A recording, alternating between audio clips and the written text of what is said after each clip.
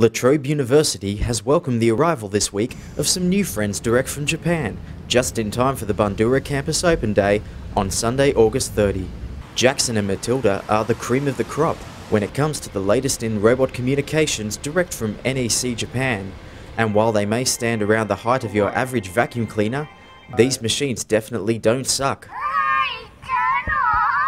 A personal welcome from Deputy Vice Chancellor Professor Tim Brown was in store for the pint-sized VIPs who are Open Day's guest of honour. It's my great pleasure today to welcome Matilda and Jackson with deceptively Australian names from Japan.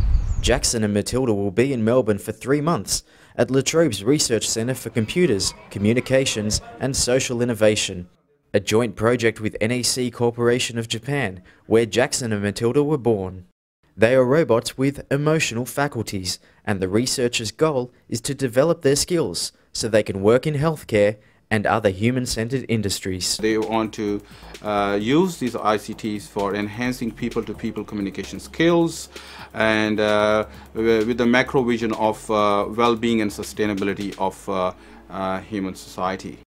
So while they may be cute, you still need to be careful of hurting these little guys' feelings.